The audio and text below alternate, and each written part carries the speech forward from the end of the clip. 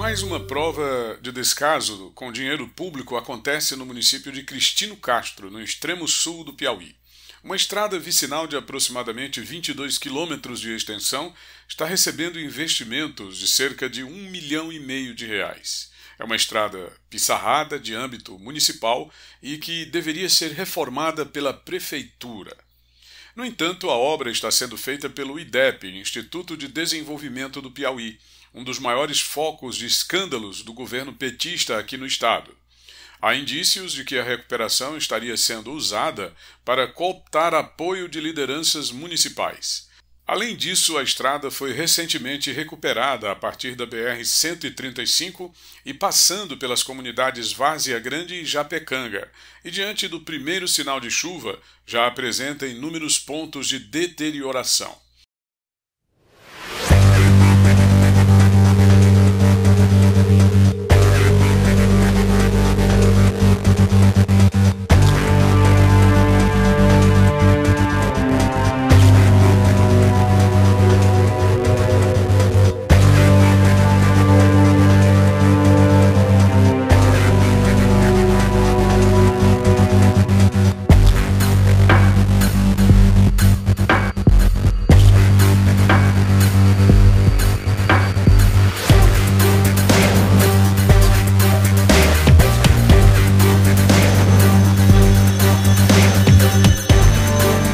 Dizer que estaria sendo superfaturada e, novamente, se faz necessária uma ação do Ministério Público do Estado.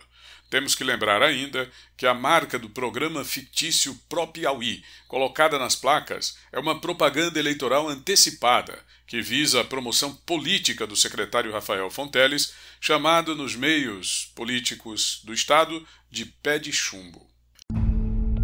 O Piauí foi sequestrado pelo governo comprovadamente corrupto de Wellington Dias do PT e seus sectários ineficazes e ineficientes. E é preciso que haja uma reação popular contra esse estado lamentável de coisas.